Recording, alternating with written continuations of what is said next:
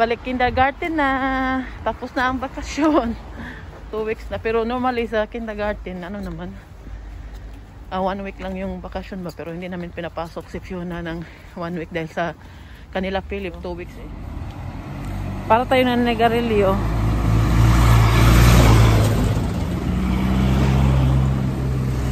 Ang lamig.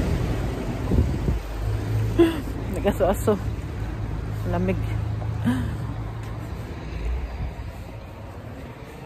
Sinamahan ko si Martin maglakad. Exercise na din sa akin, no? That's pa. Serenta. Langsam, ne? Ah. Lamig. Sakit na. Oh my God.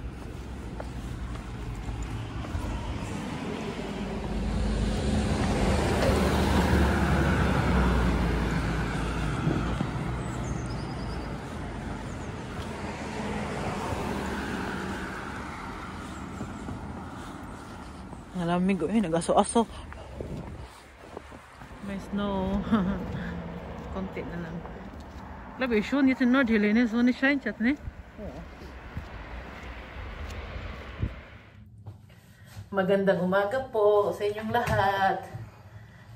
Namalansya na po ako ngayon dahil ah, may time tayo. Yung mga bata nasa school na sila. Si Fiona nasa kindergarten. Si Uma nakapag-breakfast na din. Si Martin nasa taas. Namalansya muna ako sandali dahil um, ano ba yan? Pupunta kami mamaya ni Martin sa city dahil magpa-register siya sa kanyang Reha Sport. Ah, importante po yan dahil nga sa kanyang bagong ano ba, operasyon niya ba. Pupunta kami doon mamaya. Siguro maglakad kami dahil um, need ni Martin mag, ano, maglakad. Para kanya yung ano, yung muscles ng kanyang ano ba, muscle ba, muscle.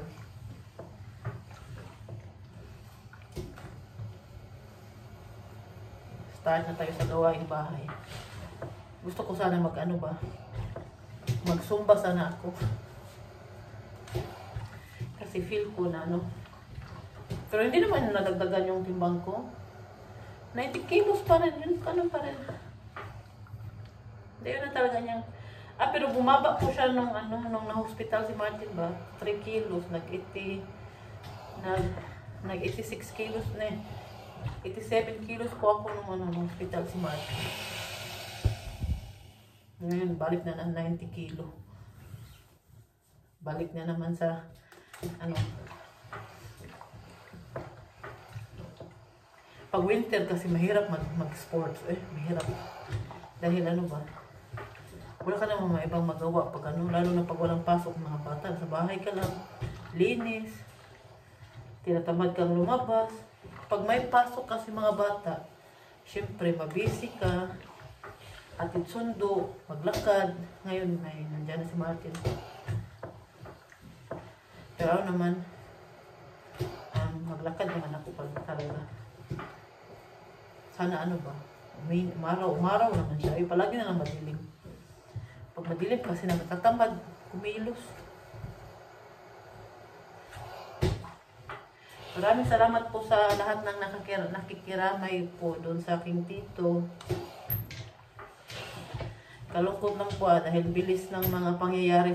August pa siya na, ano, August po siya na diagnose na may cancer. Dali lang. Tapos namatay siya December 26. Alam nyo yan, December 26, yan talaga ang palaging um, date na doon kami nagpa-party sa kanila after. Palagi kami doon sa kanila ganyang, ganyang date dahil doon kami nag kasi dito po sa Germany, marami po akong kamag-anak dito. Pero yung um, nagsalo-salo lang talaga kami, yung mga tita ko lang talaga, yung kapatid ng papa ko. Tatlo po sila dito, yung kapatid ng papa ko. Tapos malapit lang naman sila sa akin. Yung isa lang medyo malayo-layo. One hour plus ata. Tapos yung tita ko na yung asawa niya namatay, 10 minutes lang. Lapit lang talaga, tapos hindi natin nabisita. Yan, andyan po ako nalungkot. Kanina nalungkot na naman ako. Dahil naalala ko naman si Tito Michael. Hindi ko pa natanggal yung aking Christmas tree. Tapos ito yung mga nilabhan ko na, ano ba, nung ginamit ng ating mga bisita. Nilabhan ko na naman siya. Tapos uli ko na sa, ulit sa, sa cabinet para pag may bisita tayo ulit, meron na naman silang magamit. Kasi pupunta ulit ito sila chill eh, pag may, may snow. Sana nga. Na may snow naman, pero hindi sila nakapunta dito ng weekend eh. Sa next weekend na lang siguro, pag may time sila. Gusto ko isukat yung aking sapatos. Hindi ko pa siya nasukat. Kasi pag hindi siya comfortable, com comfy, ulit siya, ulit siya. Sa ulit ko kay Martin. Pero gusto gusto ko to. Eh. Ang laki tingnan, no? Sabi ni Michelle, ang laki naman ng sapatos mo. Try ko muna. Magkuha muna ako ng ano. Ilatag ko dito sa higba para hindi siya madumihan. Kasi pag madumihan, hindi na nila tinatanggap. Yan na po siya. Eh, masikip siya. Dito ba? Ito lang ang problema ko sa sapatos ba? Kasi ma malapat kasi yung paa ko eh. Sakit siya. Ano ba? Masikip. Pero yung haba, kasya naman siya. Ito lang talaga ang problema ko. Sus, nakakaloka. Ganda pa naman sana, no? So, gusto ko talaga to. Malaki naman eh. Meron po akong ganito. Kulay blue siya. Yun ay size 41 ata yun. Titingnan ko nga kung anong size yun. Dahil ito ang ano, masikip. Ito ba? Dito, dito siya. Kaloka. Oh, pwede pa ka ba sa uli, no? 14 days lang ata eh. Ano Hindi na nito kasya kay Michelle kasi size 40 kasi ito ano 41. Ano size ito? Wala, size 40 pala to. 41 sana pala ang perfect sa akin. 40 kasya naman po sa akin. Pero pag bumibili po ako kami ng sapatos, um, ni ano talaga namin, um, 41 talaga para hindi masyado dito ba. Pero masikip siya eh. Ilakad nga natin. Kailangan lang natin siya lagyan ng towel dahil sakaling uli mo siya. Ay, okay naman pala siya. Kailangan ko lang siguro luwagan yung ano ba, tubaliston ba. Okay naman pala siya. Pero dito siya comfy kung magano ka magmalakad ka na malayo ba. Pag magreklamo ako na masakit yung paa ko, sapatos ko, mag ano yan si Martin eh, mag mag ano yan, magreklamo yan. Yeah, sige, suot pa ng mga, mga sapatos na mga ano da. Kahit alam na ano, may problema, hindi na nakakasuot ng mga ano ba, mga sapatos na mga kanda siya oh. Yelo naman ang aking medyas. okay naman siya, no? Ang taas, ang tangkat ko tuloy. Hindi natin sa uli eh. Suotin na lang natin to. Pero dito siya pwede sa mga malayong lalakarin dahil sakit talaga yung paa mo. Dahil ano siya, um, kailangan na siya paluwagan dito ba, yung liston ba, para hindi siya masyadong Masikip, sakit na naman ang paa nito. Isda! Isda mo di próxima.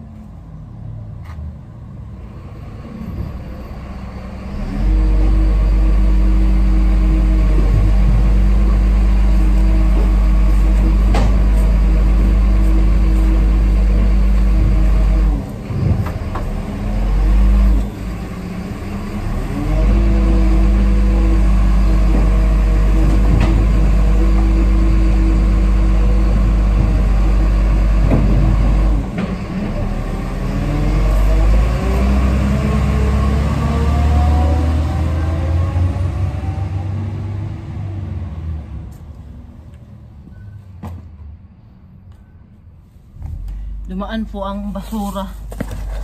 Kaya maingay. Kinuha yung ano ba? Yung basura natin. Linis mo na ako nandali dito sa ano. Sa grahian. Kasi ito, dadalhin ko mamaya din sa container, mga ano ba, mga garap.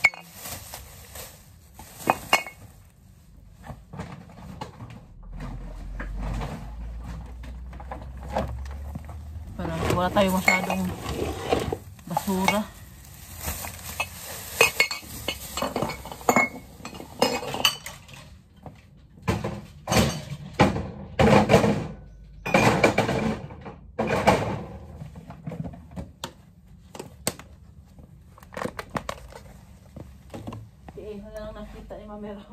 Naglinis po ako ngayon sa auto namin dahil ano ba?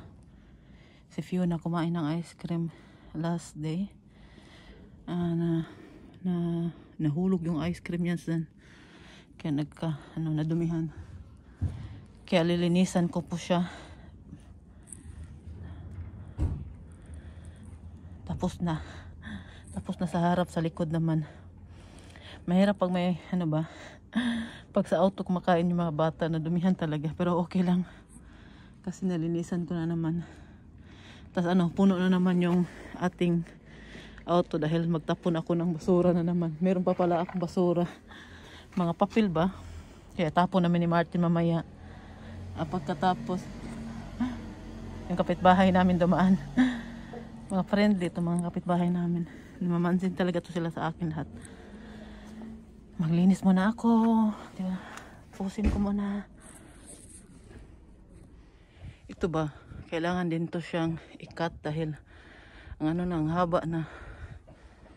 Tapos ano ba? So, nasunog pa yung lahat dyan, no? Aabot yan dito, tapos pupunta sa kapitbahay namin. Tapos dito sa taas, dito yung kwarto namin, eh. Marami talagang ano nun, time na yun. Ma, madamay sa sunog. Tapos, dyan yung view natin. Naglilinis po kasi ako. Pwede din dumaan dito. Papunta sa garden namin. Dito yung dumaan ng mga kapitbahay namin eh. Nung nasunog ba, tinignan nila na may snow pa sa kunti na lang. Pero doon sa pinuntahan namin kahapon, marami pang snow doon kasi mas mataas doon eh. Wait naman yan dyan yung sunog. Pag na-renovate na to, ah, mas maganda na.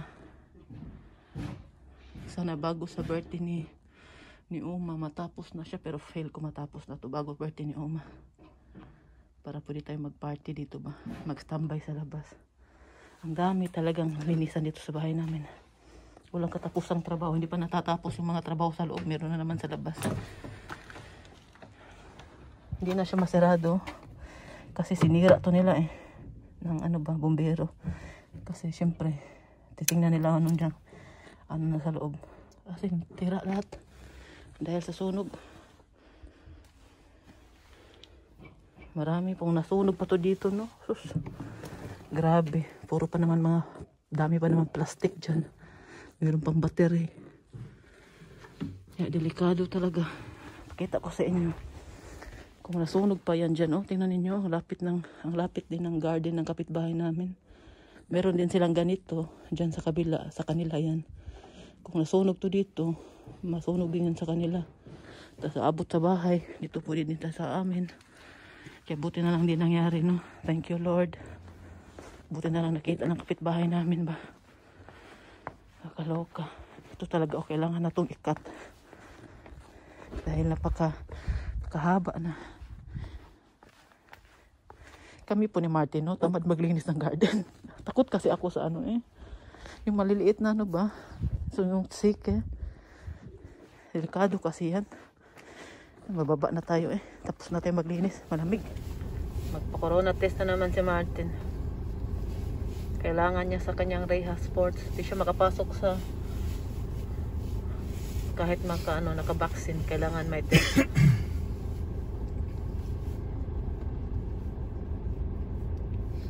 Kunti na lang tao ngayon kahapon. Grabe, ang dami. Ito yung binili namin ngayon oh, para sa pusa namin ba. Kasi mas mura to. 5 euro, 45 lang. 5 euro, 45 siya. tas 30 liters na. tas maganda siya kasi dumikit talaga. Didikit talaga yung ano ba. Ano nila, pupo nila. Eh dito talaga kami bumibili palagi. Mga pagkain lang to sa mga ano dito eh. Sa animals.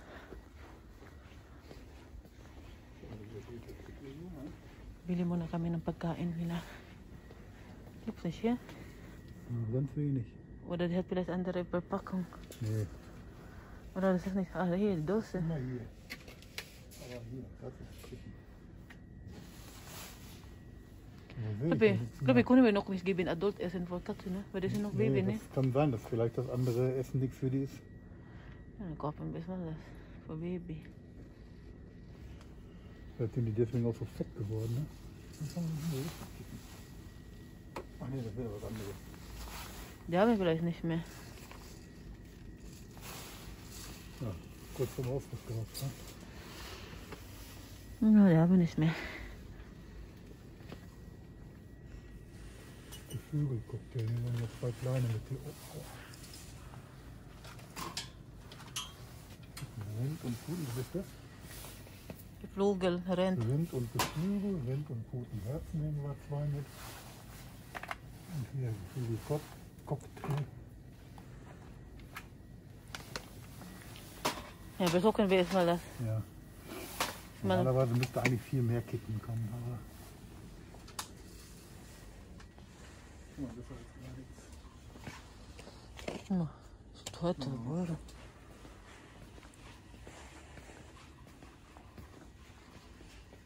Ja, das ist die erste von Tommy, aber Felix.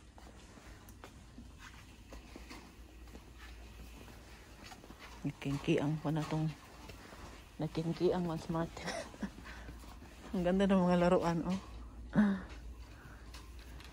Hala. Hindi din siya, ano, oh. Para sa aso ata to.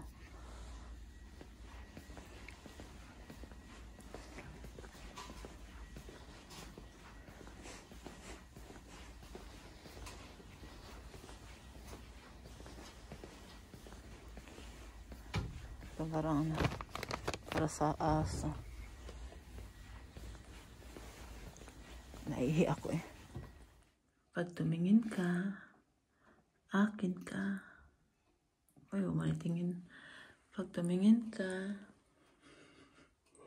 akin ka. Ay!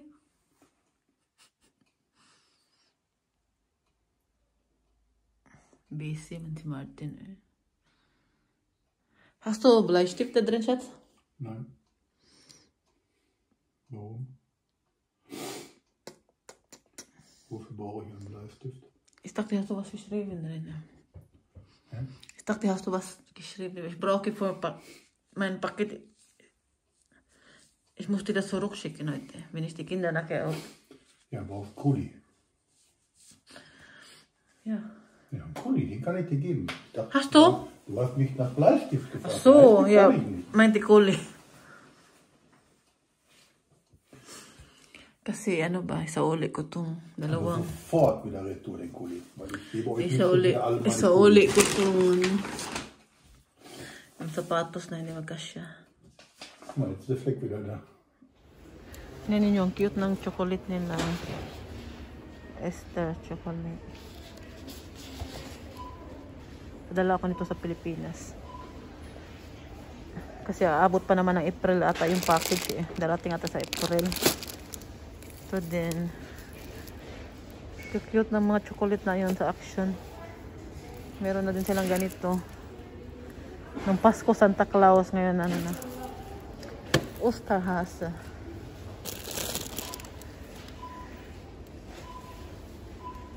Marami na silang tinda. Namili po ako ng ano, chocolate para sa package. Para ano ba, ma-ready ko na yung karton dahil hindi ko ah, alam kung anong date na kukunin. Ni-text ko na po yung may-ari. Sabi niya, magme-message siya sa, ulit sa akin kailan niya kukunin. Kaya dapat kung i-ready na siya. Para ano ba? Um, ready na akong kukunin.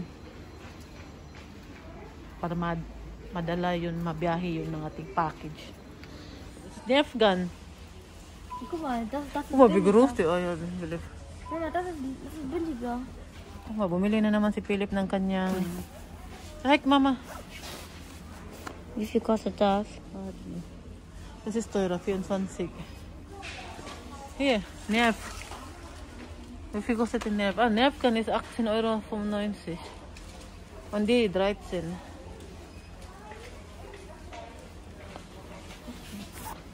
Doch Geld. Viel kostet deine Stifte? Äh, diese haben jetzt 3,99 Euro gekostet, ohne Grund. Ne, 2,79 Euro, glaube ich. Daming pera ni Philip eh. Sana all. 10 euro na lang pala yung pera niya. Sana all. Ang sarap nito. 79 cents lang. Nein, das in Facebook ist nicht schlimm, damit ist Lotion. Aber nicht alle Musik, manchmal geht. Manchmal, manchmal nur den, zum Beispiel den ganz neuen Musik.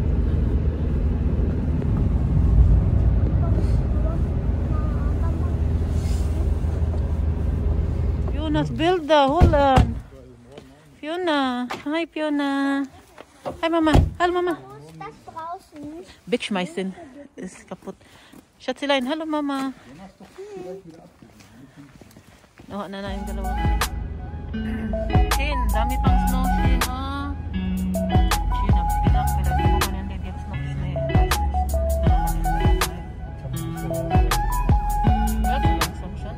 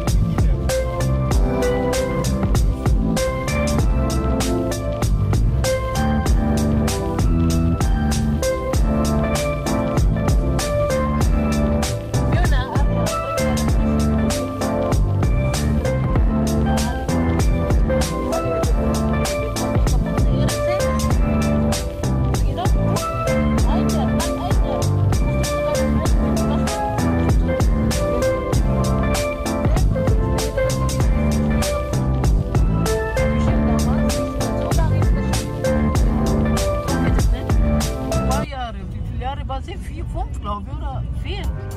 Oh Mann. Haben wir noch einen entfernt?